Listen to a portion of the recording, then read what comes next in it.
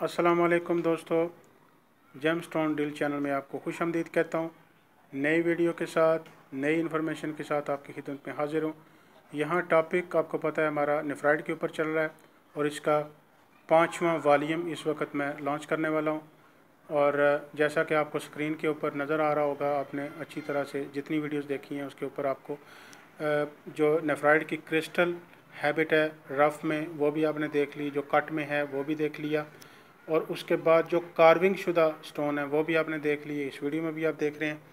تو یہاں پہ میں آپ کو ضروری بات یہ بتانا چاہتا ہوں کہ کن لوگوں کو یہ پتھر سوٹ کرتا ہے پہننے کے لیے۔ اور کن لوگوں کو اگر آپ گھر میں اس کا کوئی کارونگ شدہ کوئی ڈیکوریشن پیس آپ کو ملتا ہے کہیں سے، اگر آپ رکھتے ہیں تو اس کے کیا بینیفٹس ہو سکتے ہیں؟ ہو بھی سکتے ہیں یا نہیں بھی ہو سکتے؟ تو دوستو، قیمت کے لحاظ سے تو یہ سٹون بالکل ایسے لگتا ہے جیسے زیرو ہے، اس کو کوئی بھی نہیں خریدتا۔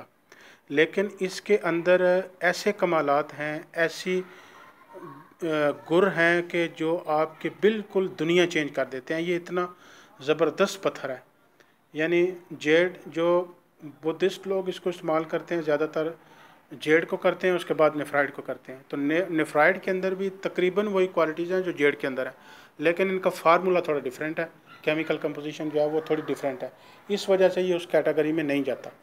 حالانکہ ان کی ریسمبلنس ایک جیسی ان کی ماہیت ہے، ایک جیسی شکل ہے، ایک جیسے کلر بھی آ جاتے ہیں ان کے اندر۔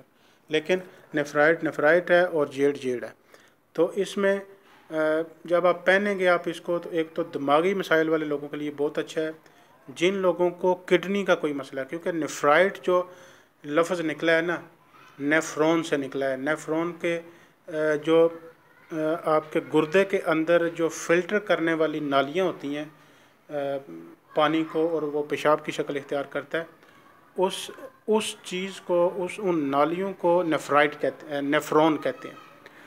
اور وہ نیفرون جو ہیں، اس نیفرون سے نیفرائٹ نکلا ہے۔ تو یعنی اس کی جو زیادہ تر فوائد ہیں، اگر آپ دیکھیں گے تو آپ کو لگے گا کہ یہ جتنے مسائل آپ کے گردے کے متعلقہ ہیں، اگر آپ اس کو پہن لیں گے، گھر میں اس کا کوئی ڈیکوریشن پیس رکھ لیں گے، یا آپ کا کوئی دماغی مسئلہ ہے، یا آپ کا کوئی روحانی مسئلہ ہے، یہ خاص طور پہ یہ روحانی مسئلوں میں بھی یہ استعمال کیا جاتا ہے۔ بدھسٹ لوگ اس کے ساتھ اس کو سامنے رکھ کے یوگا بھی کرتے ہیں۔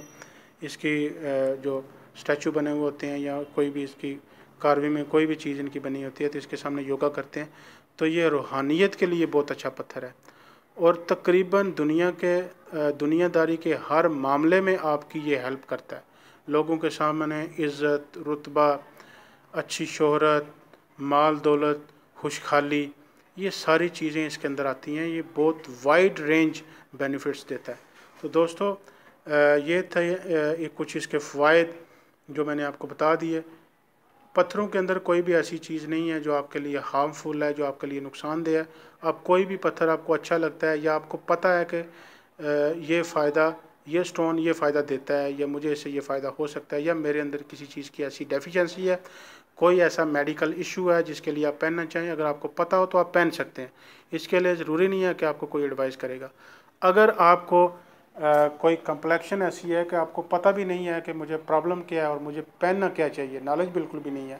تب آپ کسی سے ایڈوائز لے سکتے ہیں، کسی کسی ایسٹرالوجر سے، کسی روحانی شخصیت سے آپ مشورہ لے کے آپ پہن سکتے ہیں۔ ظاہری بات ہے، وہ آپ کے کچھ نہ کچھ معاملات آپ سے زیادہ جانتے ہوں گے۔ اگر کوئی ہیلتھ کے حوالے سے ہے، کوئی روحانی مسئلہ ہے، تو وہ ظاہری بات ہے، آپ سے زیادہ نالج رکھتے ہیں۔ تو آپ ان کی ایڈوائس اگر پہنیں گے تو یہ آپ کو میرے خیال میں زیادہ بینیفٹ دے گا، زیادہ آپ سے اس سے فائدہ حاصل کر سکیں گے۔ تو دوستو، یہ تھی ہماری ویڈیو جس میں میں نے آپ کو بتایا کہ کون سا پتھر آپ کو پہننا چاہیے یا نہیں پہننا چاہیے۔ خاص طور پہ جو نیفرائڈ ہے، اس کے بینیفٹس کیا ہیں، اس کے فوائد کیا ہیں۔ آپ کو پہننا چاہیے یا نہیں پہننا چاہیے، یہ آپ کے اوپر ڈیپینڈ کرتا ہے۔ اگر آپ دیکھتے ہیں کہ یہ مسائل آپ کے اندر ہیں تو آپ پہن سکتے ہیں، نہیں ہیں تو کسی سے آپ ایڈوائز لے سکتے ہیں۔ تو اس کے ساتھ ہی آپ سے اجازت چاہوں گا، آپ سے ریکویسٹ کروں گا کہ میرے چینل کو آپ سبسکرائب ضرور کریں۔ ویڈیو پسند آئے تو اس کو لائک اور شیئر ضرور کریں۔ اللہ حافظ۔